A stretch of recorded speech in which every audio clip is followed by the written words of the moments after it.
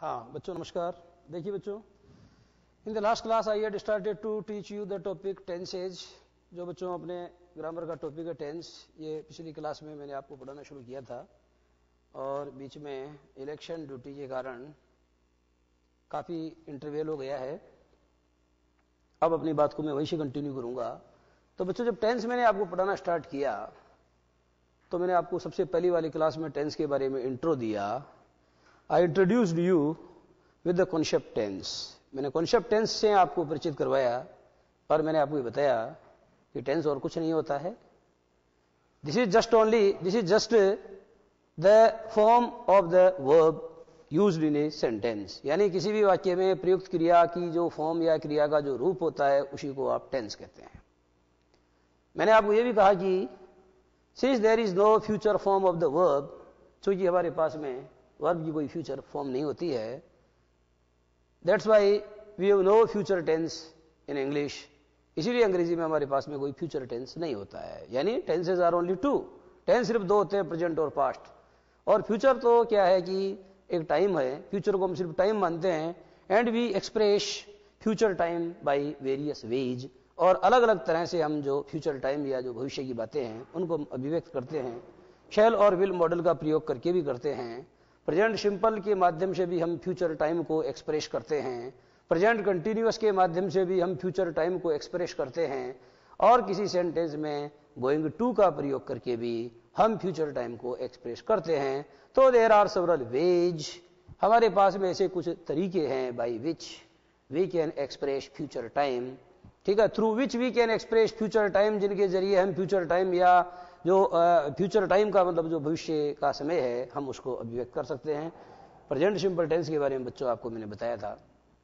और मैंने ये भी कहा था कि प्रेजेंट सिंपल टेंस में क्या होता है कि वाक्य के अंत में ता, ती है, ताऊ, ती हिंदी अनुवाद करने पर आता है। बट जनरली परंतु सामान्यतः when you see a sentence written in English जब आप अंग्रेज़ी में किसी सेंटेंस को लिखा हुआ देखते हैं तो उस सेंटेंस में क्या होना चाहिए?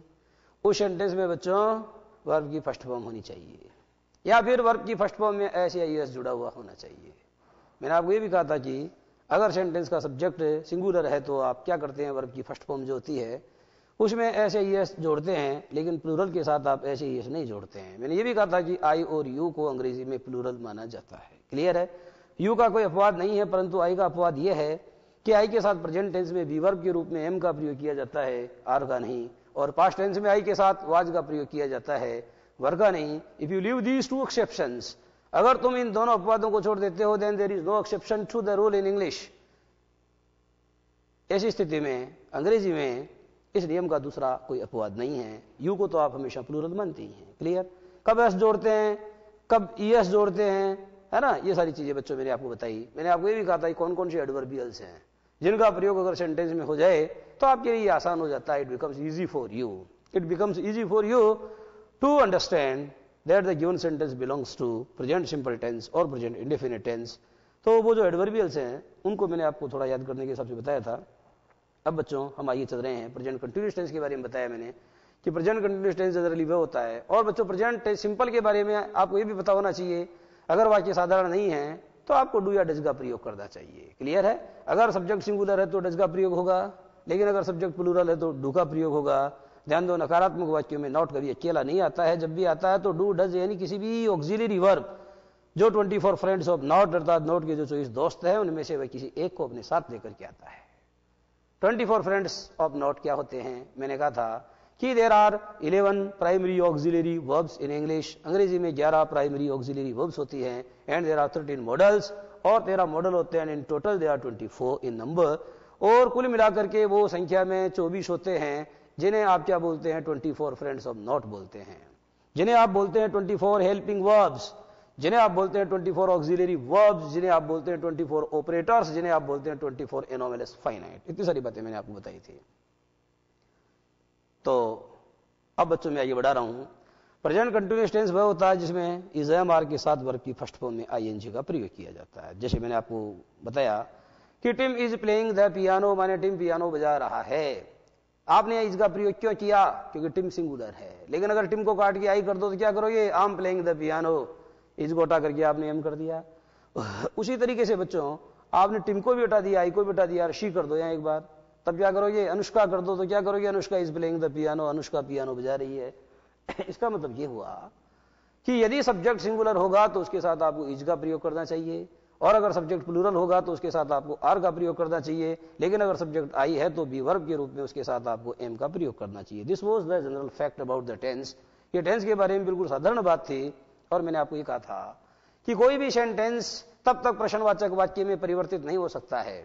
Any sentence can not be change into an interrogative one unless कब तक नहीं हो सकता है? Unless you put the helping verb of the sentence just before the subject जब तक कि आप उस सेंटेंस की जो हेल्पिंग वर्ब होती है, उसको उठा करके सब्जेक्ट के पहले नहीं रख देते हो, तब तक क्या नहीं होता है? तब तक आपका साधारण वाक्य कभी प्रश्नवाचक वाक्य में बदल नहीं सकता। इसका मतलब ये हुआ कि जय मार्ग उठा के करता जे पहले रखो तो वाक्य क्या बन जाएगा? प्रश्नवाचक बन जाएगा। और अगर आपको नकारात्मक बनाना है तो क्या करोगे? इजय मार्ग के ठीक बाद में नोट जोड़ दो ये अगर आपको प्रश्नवाचक नकारात्मक बनाना इंटेरोगेटिव नेगेटिव तब आप क्या करोगे? जो सहायक क्रिया होगी, उसका प्रयोग तो सब्जेक्ट के पहले करोगे, लेकिन नोट का प्रयोग बच्चों हमेशा सेंटेंस में तीसरे स्थान पर करना चाहिए। क्लियर हो गया है? नोट का प्रयोग हमेशा सेंटेंस में तीसरे स्थान पर करना चाहिए, और यह भी ध्यान रहे कि नोट का प्रयोग कभी भी सेंटेंस के सब्जेक्ट से पहले नहीं करना चाहिए। और अगर आपने सेंटेंस के सब्जेक्ट के पहले नोट का प्रयोग किया है तो यह भी ध्यान देना चाहिए कि नोट बच्चों स्वतंत्र रूप में नहीं आता है। It comes only in contracted form ये सिर्फ़ कॉन्ट्रेक्टेड फॉर्म में अर्थात वर्ब के साथ संधि शुदा रूप में, यानी वर्ब के साथ में मिली हुई फॉर्म के अंदर इसका प्रयोग होता है। Okay okay. अब बच्चों, हम बात करेंगे कौन कौन से एडवर्बियल्स हैं, जिनको देख करके आप ये पहचान सकते हो कि जो आपका दिया हुआ सेंटेंस है, वो इसी टेंस से संबंधित है। ठीक है? लिखेंगे आप एडवर्बियल्स प्रेजेंट कंटिन्यूस टेंस जो है बच्चों, उसके एडवर्बियल्स बता रहा हूँ मैं आपको। ध्यान दो। सेंटेंस में एक शब्द आता है, नाउ। नाउ के बाद में आता है, नाउ ए डेज़। उसके बाद में आ सकता है, दीज डेज़। लिखने की प्रक्रिया शुरू रखो। उसके बाद में आ सकता है, एट दिस। टाइम, और उसके बाद में आ सकता है एट दिस मोमेंट आप देखिए बच्चों स्टिल स्टिल लिखो इनको, सबको लिखो।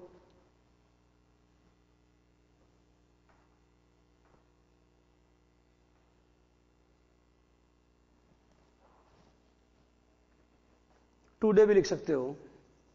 टुडे।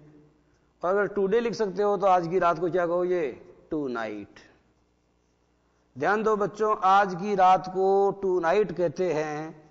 आज की रात को कभी भी टू डेज़ नाइट नहीं कहते हैं। क्लियर है? ये नीचे वाला गलत है, ऊपर वाला सही है।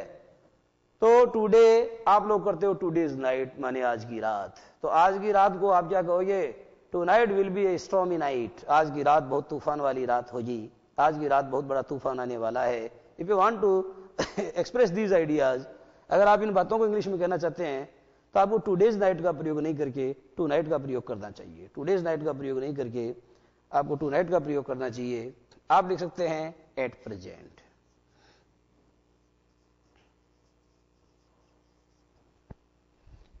at this time लिखा आपने? तो ये हो गया साहब एट प्रेजेंट हो गया है।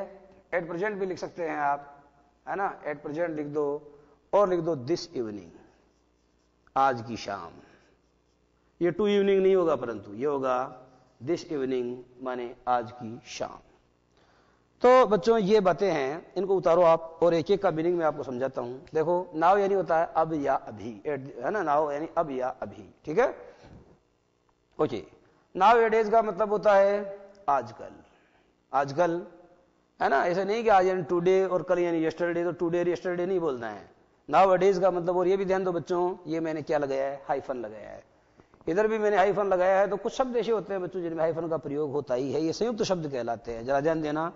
ये एक शब्द है बच्चों, मेरी, गो, और ये होता है राउंड जिसका मतलब होता है बच्चों, क्या होता है? इसका मतलब झूला या चक्री होता है, ठीक है? तो हम चक्री में झूलते हैं, हम झूले में झूलते हैं, है ना? तो उसे आप मेरी गो राउंड कहते हैं और यहाँ पर ये जो मैंने दो योजक चिन्ह लगाए हैं, इनका प्रयोग अपेक्षित है। ये कंपाउंड वर्ड्स हैं और आपको इन शब्दों को इन्हीं रूप में याद करना है, ठीक है? तो नाव माने अब हो गया है नाव डेज़ माने आजकल हो गया है दिस डेज़ माने इन दिनों एट दिस टाइम मानी इस वक्त एट दिस मोमेंट मानी इसी क्षण स्टिल माने अभी भी टुडे माने आज टू नाइट माने आज की रात एट प्रेजेंट यानी वर्तमान समय में, और दिस इवनिंग का मतलब क्या होता है? आज की शाम। दिस इवनिंग का मतलब होता है आज की शाम। आगे वाली बात देखेंगे। मैं आशा करता हूँ कि आपने ये सारे जो एडवर्बियल्स हैं, ये उतार लिए होंगे। बच्चों, अगर इनमें से किसी भी एडवर्बियल का प्रयोग सेंटेंस में हुआ है तो फिर आपके लिए बहुत आसान हो जाता है ये समझना कि वो सेंटेंस जो है, वो सेंटेंस कौन से टेंस का होना चाहिए? उस टेंस को जनरली प्रेजेंट कंटिन्यूस टेंस का होना चाहिए। जनरली मैंने इसलिए बोला है बच्चों, क्योंकि ये जो एडवर्बियल्स का नियम है, ये गणित की तरह दो दो, चार होने वाला नहीं है। ये जो एडवर्बियल हैं they are only helpful to you याद रहे, ये सिर्फ़ आपके लिए सहायक हैं।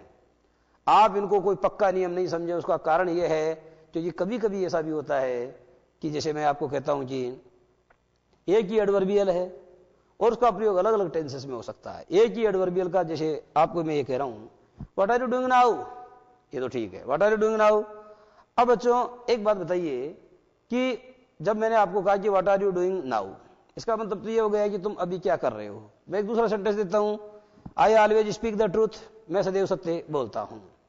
आप ये भी तो कह सकते हो कि I always spoke the truth मैं हमेशा सत्य बोलता था। तो मेरा कहने का मतलब ये हुआ कि जहाँ ऑलवेज का प्रयोग हो रहा है I have always help the poor मैंने हमेशा गरीबों की सहायता की है तो ऑलवेज का प्रयोग करके बच्चों, आपने सेंटेंस को प्रेजेंट सिंपल में लिखा, आपने पास्ट सिंपल में लिखा और आपने प्रेजेंट परफेक्ट में भी लिख दिया। और बच्चों, जब प्रेजेंट परफेक्ट में लिख दिया तो पास्ट परफेक्ट में भी लिखा जा सकता है। तो चार टेंस में ऑलवेज का प्रयोग हो गया ना। इसलिए ये पक्का जो मैं आपको ये जो बता रहा हूँ एडवर्बियल्स और जो आप ग्रामर्स में पढ़ते भी हैं तो बच्चों हमेशा ध्यान रखो कि जो फिल इन द ब्लैंक्स अर्थात जो के, जो खालिस्तान की पूर्ति करने का, जिसमें correct form of the verb भरने के लिए आपको कहा जाता है, वहाँ पर सबसे इंपॉर्टेंट रूल जो काम करेगा, वो तो अनुवाद करने की क्षमता करेगी आप उसका कितना अनुवाद कर पाते हैं। लेकिन अगर आप अनुवाद करने में असमर्थ हैं तो ऐसी स्थिति में ये जो एडवर्बियल्स मैंने आपको दिए हैं ये आपके लिए हेल्पफुल होंगे, ये आपके लिए सहायक होंगे और इनकी मदद से आप 90 परसेंट जो है सवालों को हल कर पाएँगे, लेकिन 10 परसेंट ऐसे भी होंगे जिनमें आपके एडवर्बियल्स का नियम लागू नहीं होगा और सवाल गलत हो सकता है। क्लियर है नेक्स्ट तो एडवर्बियल्स के बारे में बच्चों मैंने आपको बताया। अब मैं आपको आईएनजी जोड़ने के नियम बताता हूँ। देखो वर्ब में कैसे जोड़ेंगे आप? आईएनजी आईएनजी जोड़ने के नियम। ये आईएनजी जोड़ने के नियम जो है बच्चों ये बहुत शॉर्ट में बताऊँगा आपको मैं मुश्किल से पाँच ही मिनट में इस, इस बात को समाप्त कर दूँगा जरा ध्यान देना। एक नियम तो बच्चों ये है जरा देखना। सबसे पहले मैं आपको कहता हूँ कि जैसे मैंने कहा टेक क्लियर और मैंने बोला बच्चों इसमें आईएनजी जोड़ो। तो आप क्या करोगे? आप बच्चों टी लिखने की प्रक्रिया जारी रखना है ना? टेकिंग क्या किया आपने? आपने ई को हटा दिया। इस अंतिम ही को हटा दिया, नियम बच्चों यही बन गया। अगर किसी वर्ब के अंत में ही आ रहा है तो उसमें आईएनजी जोड़ते समय अंतिम ही को हटा देना चाहिए। इस नियम का अपवाद भी है एक। बताता हूँ आपको, यह बच्चों D Y E dye dye यानी बालों को डाई करना, और ये लगा दिया कपड़ों को डाई करना। अब आप इसका जब बनाओ ये तो D Y E I N G E नहीं हटेगा। अगर आपने ई को हटा दिया तो इसका मतलब हो गया आई एम डाइंग अर्थात मैं मर रहा हूँ। जबकि मैं तो ये कहना चाहता हूँ कि मैं तो डाई कर रहा हूँ। This is the exception to the rule next बड़ा अपनी बात। दूसरी बात बच्चों ये है कि जैसे ये एक वर्ब है आपके पास में रन और हमने कहा इसमें आईएनजी जोड़ो। तो आपने बच्चों क्या किया? जरा ध्यान देना। आर यू एन को आपने डबल किया। R U double N I N G क्या मतलब हुआ? एन को आपने डबल किया। ऐसा आपने क्यों किया? ऐसा आपने इसलिए किया क्योंकि इस वर्ब के अंत में जो शब्द आ रहा है एन वह बच्चों एक कॉन्सोनेंट और कॉन्सोनेंट के ठीक पहले जो शब्द नहीं, बल्कि जो वर्ण, माने जो अक्षर आ रहा है, वह यू है, और यू क्या है बच्चों? यू एक वोबल है। नियम समझ गए होंगे? अगर किसी भी क्रिया के, किसी भी वर्ब के अंत में कॉन्सोनेंट परंतु उसके ठीक पहले वो भी ला रहा है, तब आप उसमें क्या करोगे आई एन जी जोड़ते समय अंतिम अक्षर को डबल कर दो अंतिम अक्षर को डबल कर दो परंतु बच्चों, ये ध्यान रहे। ये डब्लू है, ये एक्स है, और ये वाई है। ये कभी डबल नहीं होते। जैसे P L A Y I N G अब बच्चों बताओ वाई को डबल किया क्या आपने? नहीं किया जबकि वाई के ठीक पहले ए आ रहा है ए, ए क्या है? एक बबल है। उसी तरीके से बच्चों जैसे मैंने कहा B L O W blow या F L O W flow या जैसे मैंने कहा एम आई एक्स मिक्स तो आपने आई एन जी तो जोड़ा लेकिन मिक्स को कभी डबल नहीं किया। एक्चुअली मैं कहना ही चाहता हूँ कि डब्ल्यू एक्स वाई कभी डबल होते ही नहीं है। ये इस नियम का अपवाद है। और आगे बढ़ाते हैं अपनी बात। अब बच्चों, अगर मैंने आपको दे दिया स्लीप और कहा इसमें आई एन जी जोड़ो तो बच्चों, आप क्या करोगे? जरा ध्यान देना। S L double E P I N G आपने पी को डबल क्यों नहीं किया? क्योंकि ये सच है कि इसके अंत में पी माने एक कॉन्सोनेंट आ रहा है, लेकिन इसके पहले लगातार एक नहीं, अपितु क्या हो रहा है बच्चों? एक नहीं, अपितु दो बोबल आ रहे हैं। मुझे यह समझाना है, अगर किसी वर्ब के अंत में कोई कॉन्सोनेंट आ रहा है और उसके ठीक पहले एक नहीं, अपितु लगातार दो बोबल्स आ रहे हैं। तो इस प्रकार की वर्ब में जब आप आई एनजी जोड़ेंगे तो अंतिम अक्षर को लास्ट लेटर को आप डबल नहीं करेंगे। क्लियर हो गया है? और अंतिम बात बच्चों, ये है ये है डी आई ई डाई यानी क्या होता है? डाई यानी मरना। और मैंने कहा, इसमें आई जोड़ो। और आपने क्या किया? जरा ध्यान देना। D Y I N G नियम समझ में आ गया होगा? अगर किसी भी वर्ब के अंत में आई, ई का प्रयोग हो रहा है, जैसे टाई, टी आई, टाई यानी बांधना, एल आई, लाई माने लेटना या झूठ बोलना तो अगर किसी भी क्रिया के अंत में आई, ई का प्रयोग हो रहा है और आपको उसमें आई एनजी जोड़ना है तो आई, ई को पहले वाई में बदलो और उसके बाद में आई एनजी जोड़ो। यह है बच्चों, वर्ब में आई जोड़ने के नियम। मैं यह भी कह सकता हूँ कि यह है वर्ब की प्रेजेंट पार्टिसिपल फॉर्म बनाने के नियम। ठीक है? मैं ये भी कह सकता हूँ कि ये बच्चों, इसको जो वर्ब की प्रेजेंट पार्टिसिपल फॉर्म होती है, इसको वर्ब की चौथी फॉर्म कहा जाता है। This is known to be the fourth form of the verb तो these are the rules these are the rules of formation of fourth form of the verb अर्थात जो वर्ब की फोर्थ फॉर्म होती है, उसके फॉर्मेशन की नियम है, जो मैंने संक्षेप के अंदर आपको, है ना ब्रीफ के अंदर इन ब्रीफ है ना in brief I taught you मैंने संक्षेप में आपको ये चीज़ें पढ़ाई। अब मैं इसको मिटा करके अपनी बात को आगे ले जा रहा हूँ बच्चों प्रेजेंट सिंपल टेंस आपको समझ में आ गया प्रेजेंट कंटिन्यूस टेंस आपको समझ में आ गया। अब मैं आपको कुछ ऐसे नियम बताऊँगा, जिन पर प्रेजेंट सिंपल और प्रेजेंट कंटिन्यूस दोनों ही नियम, दोनों ही टेंसेस के नियम लागू होने वाले हैं। क्लियर है? तो अब मैं आपको कुछ इस प्रकार के सेंटेंस बताने वाला हूँ, जिनमें both present simple and present continuous tenses can be applied और विल बी अप्लाइड जरा ध्यान देना। इस प्रकार की एक्सरसाइज को अंग्रेज़ी में कहते हैं मिसे लेनियस ध्यान दो बच्चों, यह है मिसेलेनियस एक्सरसाइज यह है मिसेलेनियस एक्सरसाइज आप जानते हैं एक्सरसाइज एक नाउन है क्लियर है?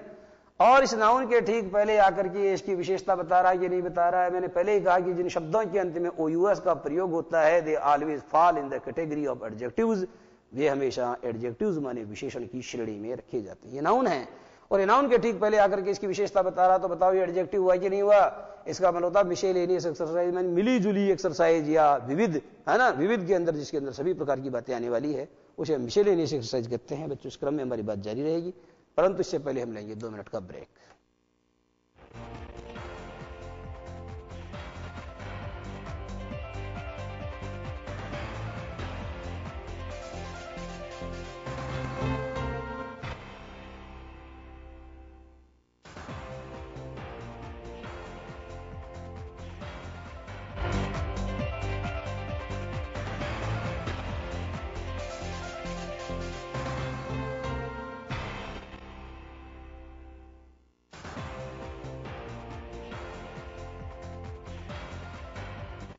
हाँ तो बच्चों, आइए देखिए।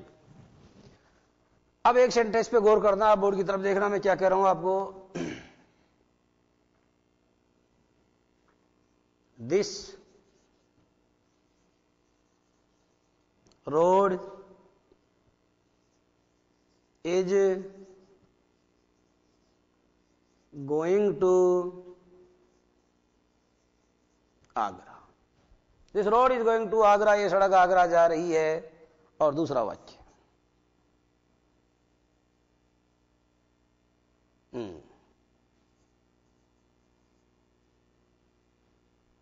Sam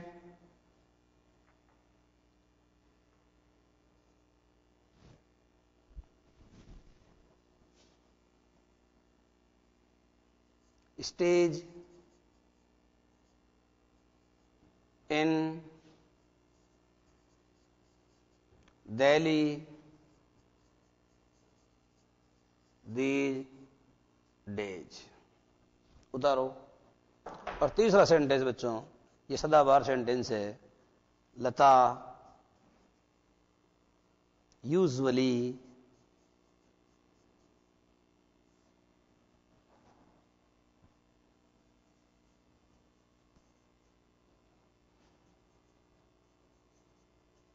in Hindi, but uh,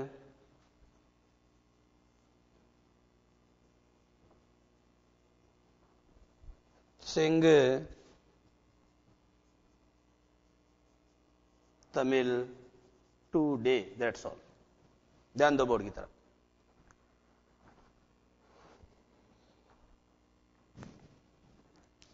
पहला सेंटेंस है बच्चों this road is going to Agra यानी ये सड़क कहाँ जा रही है? ये सड़क आगरा जा रही है। दूसरा सेंटेंस है Sam stays in Delhi these days Sam इन दिनों कहाँ ठहरता है? शैम इन दिनों दिल्ली में ठहरता है। ओके और अंतिम सेंटेंस है usually sing in Hindi but she in Tamil but she bracket में सिंग लिखा हुआ है मैंने। ब्रैकेट में क्या लिखा हुआ है? But she sing in Tamil today अब बच्चों, आप जरा ध्यान दो। कि जो पहला सेंटेंस है, उसमें क्या स्थिति है? देखो, मैं आपको एक शब्द दे रहा हूँ, इस पर गौर करना। P A T A P A का मतलब होता है स्थायी गतिविधि। अंग्रेज़ी में कहेंगे permanent treat permanent arrangement permanent arrangement और टी ए का मतलब होता है टेम्पररी अरेंजमेंट माने अस्थायी गतिविधि। क्लियर हो गया है? तो आपको यह देखना चाहिए कि सेंटेंस में अगर परमानेंट अरेंजमेंट का भाव है, अगर सेंटेंस में परमानेंट अरेंजमेंट का भाव है तो उस सेंटेंस को प्रेजेंट सिंपल टेंस में होना चाहिए कंटिन्यूस में नहीं। जब मैंने ये कहा कि ये सड़क आगरा जा रही है तो इसका मतलब तो ये है कि आज जा रही है, कल नहीं जाएगी। जबकि ये तो बच्चों परमानेंट अरेंजमेंट है। ये तो स्थायी गतिविधि है, इसलिए इसको क्या करोगे? इसे प्रेजेंट सिंपल में बदलो, ये तो प्रेजेंट कंटिन्यूस है। इस इसे प्रेजेंट सिंपल में बदलने के लिए कौन सा नियम लागू होगा? या तो वर्ब की फ़र्स्ट फॉर्म या वर्ब की फ़र्स्ट फॉर्म प्लस एस या ई एस ओके तो दिस रोड के बाद में मैंने इस गोटा करके ये कर दिया वर्ब की फ़र्स्ट फॉर्म अब आप जानते हो बच्चों, ये सब्जेक्ट सिंगुलर है, इसलिए इस वर्ब को भी सिंगुलर बनाना पड़ेगा। और चूँकि इसके अंत में ओ आ गया इसलिए क्या जुड़ेगा? अब आपका वाक्य शुद्ध हुआ है, ये गलत है this road goes to Agra माने ये सड़क आगरा जाती है ना कि जा रही है। इसका मतलब अभी जा रही है, थोड़ी देर के बाद में रुक भी जाएगी। ऐसा थोड़ी होता है। तो ये परमानेंट अरेंजमेंट की श्रेणी में आता है। It falls in the category of permanent arrangement अर्थात ये स्थायी गतिविधि की श्रेणी में आता है। इसलिए इस सेंटेंस को प्रेजेंट सिंपल टेंस में न कह करके आपको कौन से टेंस में कहना चाहिए? प्रेजेंट कंटिन्यूस में न कह करके प्रेजेंट सिंपल में कहना चाहिए। Clear next Sam stays in Delhi these days. अब बच्चों, आप बताइए कि शैम इन दिनों दिल्ली में ठहरता है तो इन दिनों ठहरता है तो क्या स्थायी रूप से घर बना के ठहरता है? या इन दिनों, कुछ दिनों के लिए? तो चूँकि बच्चों, इन दिनों आ गया है, इन दिनों आ जाए, आजकल आ जाए, इस दीज डेज़ से क्या पता चलता है कि अगर वाक्य में दीज डेज़ का प्रयोग हो रहा है तो समझ लो जो अरेंजमेंट है वो परमानेंट नहीं है, वो टेम्परेरी अरेंजमेंट है, वो अस्थायी गतिविधि है। कैसा अरेंजमेंट है? टेम्परेरी जानते हो टेम्परेरी की spring T E M P O R A R Y temporary arrangement कैसा अरेंजमेंट है ये? ये टेम्परेरी अरेंजमेंट है। और चूँकि ये टेम्परेरी अरेंजमेंट है तो इसको कौन से टेंस में कहना चाहिए? प्रेजेंट कंटिन्यूस में। और प्रेजेंट कंटिन्यूस कहने के लिए क्या करना पड़ेगा? इज़ एम आर का प्रयोग करोगे। सेम सिंगुलर है तो लगा दिया मैंने इज़ और वर्ब की फ़र्स्ट फॉर्म लगाओ स्टे ये स्टे आ गया। आईएनजी और लगाओ, ये लगा दिया। और ये वाला गलत है। Sam is staying in Delhi these days यानी सेम इन दिनों दिल्ली में ठहर रहा है। और आइए बताता हूँ अपनी बात। लता यूजुअली देखो बच्चा, लता, देखो बच्चों, लता आमतौर पर क्या करती है? हिंदी में गाती है है ना? लता आमतौर पर हिंदी में गाती है, ये तो परमानेंट अरेंजमेंट है। लेकिन आज वह तमिल में गा रही है, ये टेम्पररी अरेंजमेंट है। ठीक है? और वैसे यूजुअली से पकड़ सकते हो आप। देखो यूजुअली आ रहा है टूडे आ रहा है। तो चूँकि इसमें यूजुअली आ रहा है तो आप क्या करोगे? इसे प्रेजेंट सिंपल बनाने के लिए सिंह को बाहर लाओ, ये ले आए।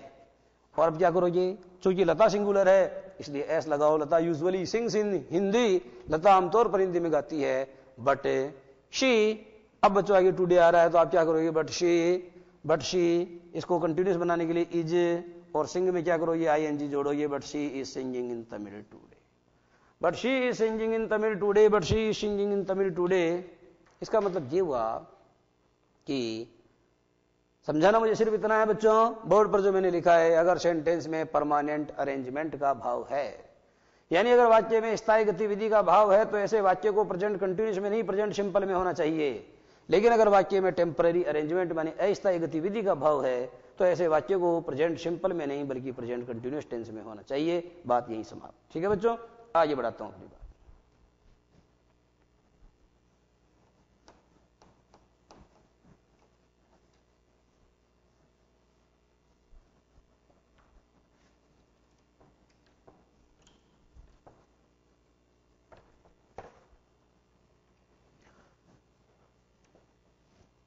एक बात ये भी समझ लीजिए, अगर किसी सेंटेंस में दो क्लोज आ रहे हैं ध्यान देना, ये क्लोज नंबर वन बीच में आ रहा बी यू टी बट और आगे आ रहा क्लोज नंबर टू ध्यान दो, पहली बात तो बच्चों, ये जो बट है, ये क्या है? ये बट ध्यान देना लिखना, ये एडवर्सेटिव कंजंक्शन है। कैसा कंजंक्शन है ये? ये एडवर्सेटिव कंजंक्शन है क्योंकि यह दो विरोधी या प्रतिकूल विचारधाराओं वाले उपवाक्यों को जोड़ता है। इसलिए यह एडवर्सेटिव कंजंक्शन माना जाता है। एक बात। दूसरी बात बच्चों एडवर्सेटिव कंजंक्शन तो है, लेकिन है कौन सा? को ओर्डिनेटिंग कंजंक्शन है। ये सबॉर्डिनेटिंग नहीं है कोऑर्डिनेटिंग कंजंक्शन है। और आप जानते हैं बच्चों, जब कोई कोऑर्डिनेटिंग कंजंक्शन दो या दो से अधिक क्लोजेज या दो या दो से अधिक उपवाक्यों को जोड़ता है। तो जिस लार्जर सेंटेंस का फॉर्मेशन होता है, अर्थात जिस बड़े वाक्य का निर्माण होता है, जिस वृहद वाक्य का निर्माण होता है, वह वाक्य क्या कहलाता है? वह हिंदी में हमेशा संयुक्त वाक्य कहलाता है और अंग्रेज़ी में हमेशा कंपाउंड सेंटेंस कहलाता है। कैसा सेंटेंस कहलाता है? वह हिंदी में हमेशा संयुक्त वाक्य तथा अंग्रेज़ी में हमेशा कंपाउंड सेंटेंस कहलाता है। जैसे मैंने आपको कहा अब बात बच्चों, मुझे इसमें समझानी यह है कि बीच में अगर बट का प्रयोग हुआ है तो इधर प्रेजेंट सिंपल का प्रयोग होगा, और बच्चों, अगर इधर प्रेजेंट का होगा तो इधर प्रेजेंट कंटिन्यूस का प्रयोग होता है। यह तो बच्चों कॉन्सेप्ट नंबर एक है। जैसे मैंने कहा कि लता यूजुअली सिंग्स तो बताओ कौन सा टेंस आ गया? ये आ गया प्रेजेंट सिंपल जरा ध्यान देना। Lata usually sings in Hindi, और ये बीच में आ गया but she is singing in Tamil today, ये बच्चों, एक स्थिति है जो हो भी सकती है, नहीं भी हो सकती है। क्लियर है? अगर किसी सेंटेंस में आपको कुछ यूँ दे दिया गया है, जैसे Lata usually sings in Hindi और आइए खालिस्तान दे दिया है तो आप इतना समझ लीजिए कि जब पहले वाले खालिस्तान में प्रेजेंट सिंपल का प्रयोग हुआ है तो जो दूसरा वाला खालिस्तान या जो दूसरा वाला ब्लैंक है, उसमें बहुत अधिक इस बात की संभावना है कि वहाँ पर जो वर्ब आएगी, उसमें आईएनजी जुड़ेगा, यानी वह प्रेजेंट कंटिन्यूस टेंस में होगा। लेकिन ऐसा होने की सिर्फ़ एक सूरत है, दूसरी सूरत एक और है। वो भी बताता हूँ आपको। दूसरी सूरत है बच्चों कभी कभी ऐसा भी होता है कि इधर भी प्रेजेंट सिंपल क्या कहा मैंने? इधर भी प्रेजेंट सिंपल और बीच में बट और इधर भी प्रेजेंट सिंपल दोनों तरफ़ प्रेजेंट सिंपल भी आ सकता है कभी कभी ऐसा भी होता है। I love her but she hates me I love her but she hates me का मतलब मैं तो उसको प्रेम करता हूँ, परंतु वह मुझे प्रेम नहीं करती है। अब बच्चों, इस सेंटेंस को आप प्रेजेंट कंटिन्यूस में तो कह भी नहीं सकते क्योंकि हेट एक ऐसी वर्ब है, जिसका प्रयोग कभी भी आईएनजी फॉर्म में नहीं होता है। क्लियर है? वो चीज़ें मैं आपको आगे क्लियर करूँगा। उसी तरीके से बच्चों में कहता हूँ ही इज़ माई फ्रेंड ठीक है?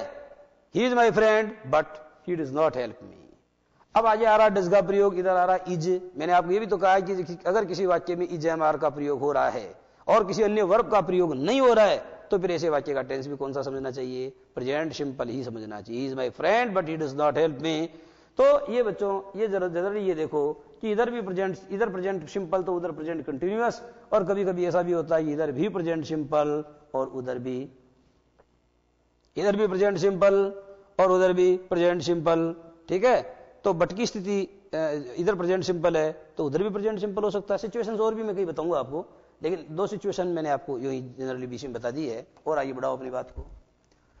तो बच्चों, एक नियम तो आपकी समझ में आ गया कि अगर सेंटेंस में परमानेंट अरेंजमेंट का भाव है तो क्या होगा?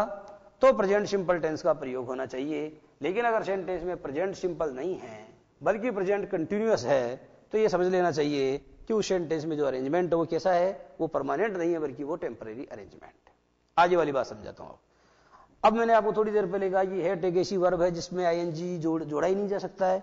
कभी भी आपने किसी को यह तो कहते हुए नहीं सुना होगा कि आई एम हेटिंग यू लेकिन आई हेट यू का प्रयोग तो आपने हज़ारों बार सुना होगा।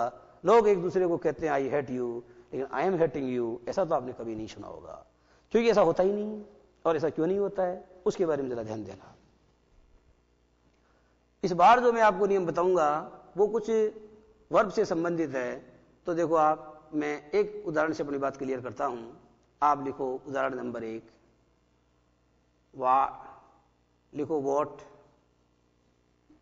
are you seeing out side अर्थ हुआ इसका? What are you seeing outside का मतलब होता है तुम बाहर की तरफ़ क्या देख रहे हो? What are you seeing outside का मतलब होता है तुम बाहर की तरफ़ क्या देख रहे हो? अब बच्चों, इसमें वर्ब देखो कौन सी है? इसमें सी वर्ब है। ध्यान देना बच्चों, अगर वर्ब के रूप में सी का प्रयोग हो जाए, ठीक है? या अंडरस्टैंड का प्रयोग हो जाए। अंडरस्टैंड यानी समझना होता है ना? ओके या लव, या हेट या लाइक या डिसलाइक ठीक है? का प्रयोग हो जाए, या के एन ओ डब्ल्यू नो का प्रयोग हो जाए या H E A R hear का प्रयोग हो जाए या B E L I E V E believe का प्रयोग हो जाए या रिमेंबर या रिजेंबल का प्रयोग हो जाए या हेव का प्रयोग हो जाए तो ध्यान देना जो मैंने लास्ट में हेव लिखवाया है, इस हेव को मैं आपको यहाँ लिखवा देता हूँ, जो अंत में आपको दिखाई नहीं दे रहा, यहाँ देख लो। क्लियर है? तो आपको यह समझाया गया है कि ये ऐसी क्रियाएँ हैं कि इनका प्रयोग कभी भी कंटिन्यूस टेंस में नहीं होता है। दीज आर सर्टेन वर्ब्स ये कुछ ऐसी बच्चों अलग अलग प्रतियोगी परीक्षाओं में इसके ऊपर सवाल ज़रूर बनता है तो आप इस सवाल को जरा ध्यान देना और आपकी जो, आपका जो सिलेबस है, उसके अकॉर्डिंग भी ये बिल्कुल ही ठीक नियम है तो ये ध्यान देना। कि इन वर्ब्स को आपको याद करना पड़ेगा। सी में आईएनजी कभी नहीं जुड़ता है। अंडरस्टैंड में भी नहीं लव हेट में भी नहीं लाइक डिसलाइक में भी नहीं नो में भी नहीं हियर हेव बिलीव रिजेंबल है ना? एक एक का मीनिंग बताता हूँ। उसी मैंने देखना होता है अंडरस्टैंड मैंने समझना होता है। लव का मतलब आपको बताने की आवश्यकता नहीं है।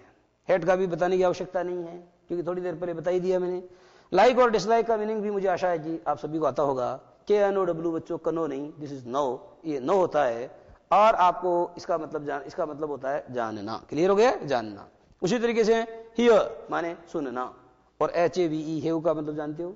जैसे मैंने आपको कहा I have a book I have a book मेरे पास क्या है? किताब है।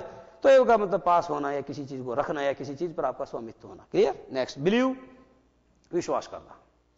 विश्वास करना होता है रिमेंबर का मतलब क्या होता है? याद करना होता है। और रिमेंबर का मतलब याद करना होता है रिजेंबल यानी किसी की शक्ल मिलना होता है। जैसे हम कहते हैं कि साहब जो, हम कहते हैं कि करीना की शक्ल करिश्मा से मिलती है। यानी मिलती जुलती शक्ल है। उसकी शक्ल उसके दादाजी से मिलती है, दादाजी से मिलती है पितामह से मिलती है। तो इसे आप अंग्रेज़ी में रिजेंबल कहते हैं या टेक आफ्टर कहते हैं। अब मैं एक एक के बारे में आपको क्लियर करता हूँ। पहला सेंटेंस मैंने आपको बोर्ड पे लिखा है जी। What are you seeing outside यानी तुम बाहर की तरफ़ क्या देख रहे हो? प्रथम दृष्टिया ये वाक्य आपको शुद्ध प्रतीत हो रहा है। क्लियर है बच्चों?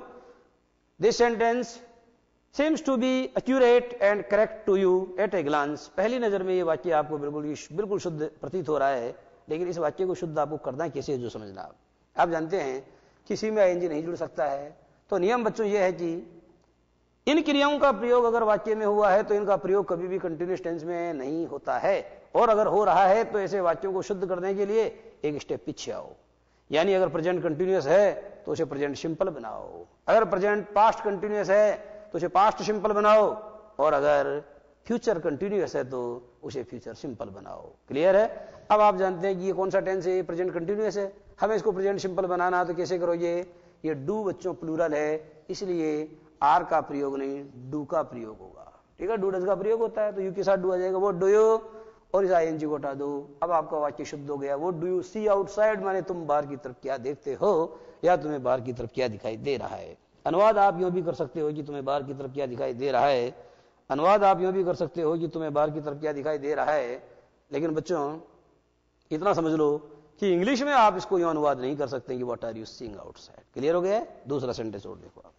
दूसरा सेंटेंस है, एक उदाहरण और देखो जैसे, मैंने आपको कहा are you are you knowing are you knowing French क्या तुम फ्रेंच जान रहे हो। ऐसा कभी नहीं बोलना चाहिए।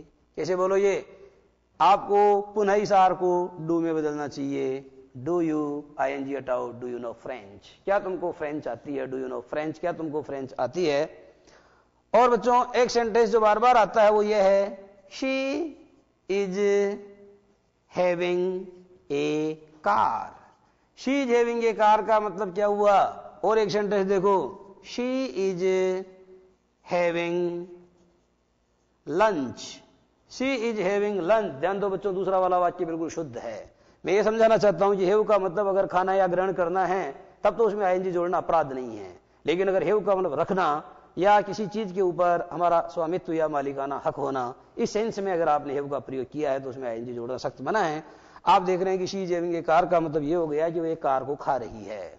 इसलिए इस वाक्य को शुद्ध करने के लिए क्या करना पड़ेगा? इस इज़ को हटाना पड़ेगा। क्लियर है? क्योंकि साधारण वाक्य है तो इसमें डूडिज का प्रयोग होगा ही नहीं। अब बच्चों, आप क्या करोगे? इस आईएनजी को हटा दिया तो क्या क्या रह गया यहाँ पर हेव और हेव में क्या करोगे? ये सिंगुलर सब्जेक्ट जानते हो, जब सब्जेक्ट सिंगुलर होता है तो हेव में क्या जुड़ जाएगा? इसमें एस जुड़ेगा तो ये हेउज हो गया। अब बच्चों, आप जानते हो तो होता नहीं है। और क्या बन जाएगा? ये हेज में चेंज हो जाएगा। She has a car she has a car का मतलब हो गया उसके पास में क्या है? शी एज ए कार अर्थात उसके पास में एक कार है। उसी प्रकार से बच्चों, बाकी सारी जो वर्ब्स हैं, इनके भी एग्जाम्पल्स दिए जा सकते हैं। लेकिन आप समझ गए, आपको समझाना मेरा मकसद था तो बात आपकी समझ में आ गई होगी। तो सारांश बच्चों ये है, देखो नियम क्या बना है। अगर किसी भी वाक्य में उक्त क्रियाओं का प्रयोग किया गया है तो इनका प्रयोग कभी भी ध्यान देना कंटिन्यूअस टेंस में नहीं होता। और अगर किसी वाक्य में हुआ है तो ऐसे वाक्य को शुद्ध करने के लिए उसे उसी टेंस के सिंपल टेंस में बदल देना चाहिए। उसे, उसी टेंस के सिंपल टेंस में बदल देना चाहिए। तो इस तरह से बच्चों, आज की बात यहीं समाप्त और आगे वाली बात अगली क्लास में। नमस्कार।